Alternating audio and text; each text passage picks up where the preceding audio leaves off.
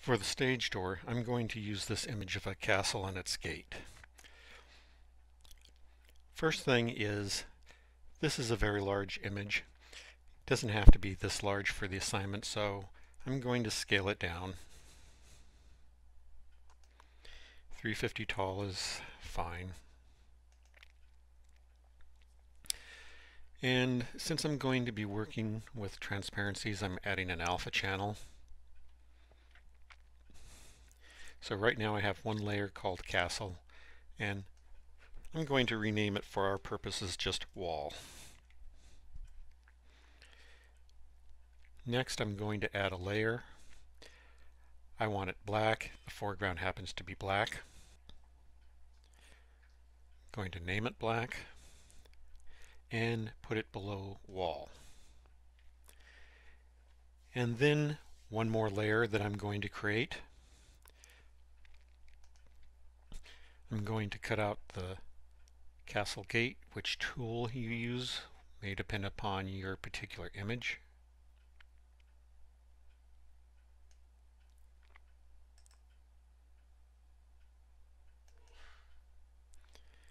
And I'm going to paste it in as a new layer. Let's move it into position to where it was originally.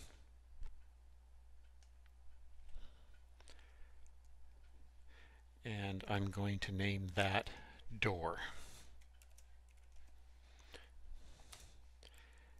And now move that down to be between black and wall. This is the order that we're going to be working with for the rest of the lesson. Black, door, wall. Now with all of that, Let's duplicate the layer, each of these layers, and arrange them in the proper order so that it's now black door wall, black door wall as we read from the bottom upwards. Here I'm going to merge this layer down and merge this layer down also. At this point I'm going to come back up here, choose the door copy, and I want to start swinging it. So I'm going to choose the perspective tool, select that layer,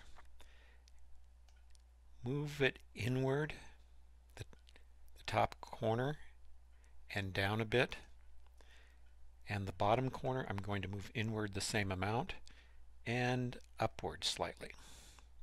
Let's do a transform and you can see that it looks like it's open slightly now. Now we need to take this floating selection let's name it door 1 and move it down to where the door copy was it's now a blank layer because of the transformation. And we will duplicate all of these layers again.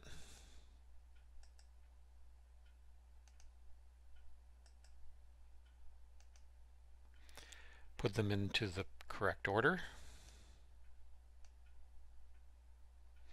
So once again we have black door wall, black door wall. Turn these off for just a moment. I'm going to merge this copy down, this copy, merge it down.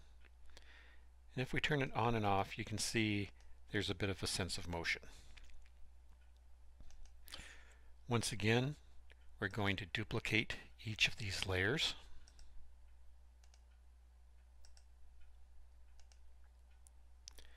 Arrange them into the expected order. So again, it's black door wall, black door wall. Turn these on. Get the perspective tool. Wrong selection. Make sure you have the door selected. And we are going to bring it in some more and down. And this corner we're going to bring in and up.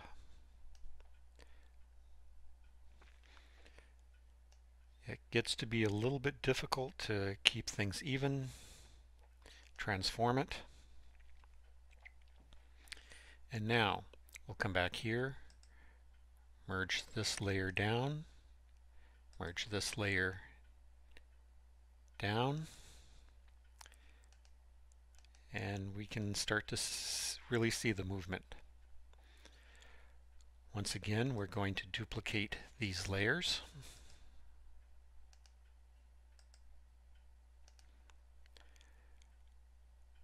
Arrange them into the order again so that we have black door wall, black door wall. We'll turn these layers on, select the door layer, the perspective tool, in and down, in and up, transform,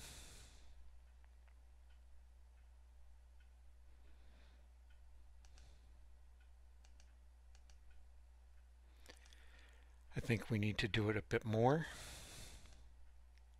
So bring it in some more and down. Bring it in some more and up.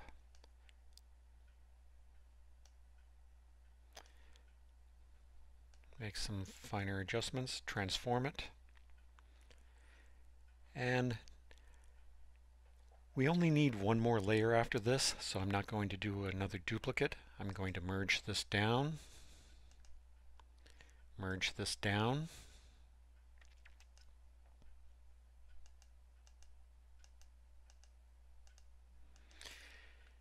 And now I'm going to do the layer for fully open. Come back to the door.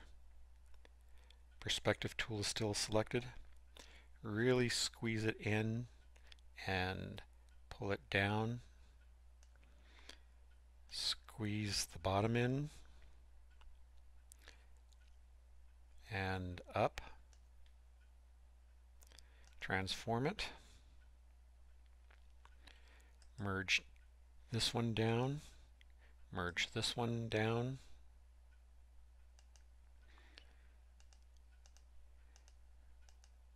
and now we have it from closed to fully open. Now this is for the opening. We need to also do a closing sequence, but it's much simpler. I'm just going to come back down here to this layer, duplicate it, and move it to the very top. Come back to this one, duplicate this layer, move it to the very top, come down here, duplicate this layer, move it to the very top, and then come down here, duplicate this layer, and move it to the very top. So now we have a full sequence. The last step, let's run it through the animation playback.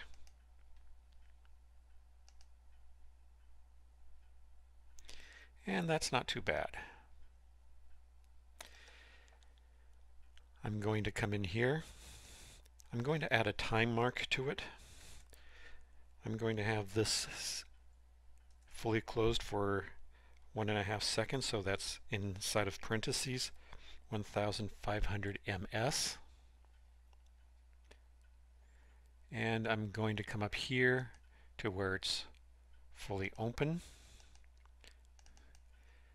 I'm going to put in also 1500 milliseconds. Let's take a look at the playback now.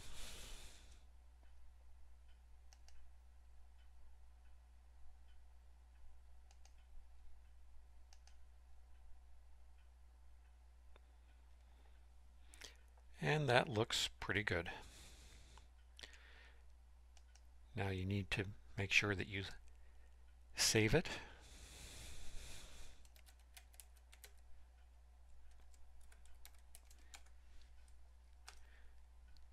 And that you export it. Be sure to change the, ex the extension to GIF. Choose export. Notice I made a typo here. I accidentally took out the period. Click export. Choose as animation. Frame disposal, one frame per layer. Use disposal for all frames. And export it. Finally, you should locate the file,